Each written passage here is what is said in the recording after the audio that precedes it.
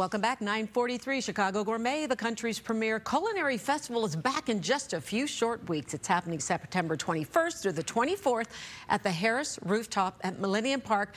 And joining me now with more on the event is our friend Serafin Alvarado. He is a master sommelier and director of wine education for Southern Glazer Wine and Spirits. Welcome back. Thank you very much. Nice to have you. Wow. We were just talking about this. You've been involved with Chicago Gourmet from since the inception. Since the, and so for yeah. people who don't know, because it's my favorite time of the year, tell mm -hmm. everybody what is Chicago Gourmet. It's, it's a celebration of food and wine uh, basically celebrating what Chicago has to offer at its greatest.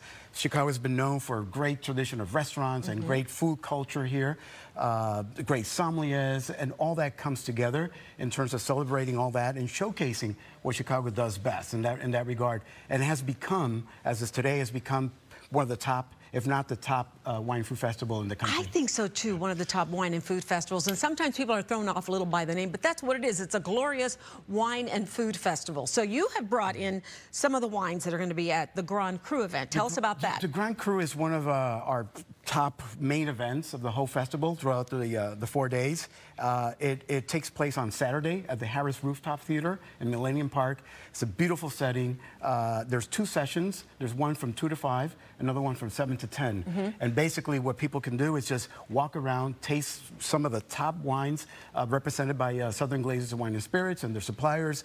And uh, you can have winemakers, master sommeliers like myself there, different sommeliers from the city. Learned so much. And, and, then we have all these uh, great chefs also going to be preparing food. So yes, yeah, so we have a little taste testing with the wine and the food. What have you brought today? Well, there's a, a couple of uh, the wines that will be featured at, at the festival at the uh, the Grand Cru. For example, this is Chateau Saint Jean, -huh. Cabernet Sauvignon from California, Wairau River, which is a Sauvignon Blanc from okay. uh, from New Zealand. This is a, a, a Gran Reserva Marqués from Spain. Uh, from Rioja. So a little bit of everywhere. And then, and then, and this is one of my favorite. I mean, champagne for, for me is one oh, of my favorite uh, wines overall. And this is uh, Champagne Lallier. The the reason why I uh, I brought this over is because the uh, the theme today mm -hmm. this year is about travel. Okay. And uh, which is fantastic, and it's all the roads lead to gourmet. I love and it. It's bringing all the travel elements and how at least for me, how enriching travel has been in terms of understanding food culture, wine culture, better appreciation for, for what it's all about. And Champagne, when I visited Champagne for the first time, it just changed my whole perspective in terms of what well, it's beyond celebratory. It's a special night. Chicago Gourmet is held from September 21st through the 24th. It takes place, as you said, at the Harris Rooftop Theater at Millennium Park. If you want more information, go to chicagogourmet.org. Cheers to you. Cheers to I will see you out there. Such a fun event, and you I'll do such a great job. Okay? Thank you very much.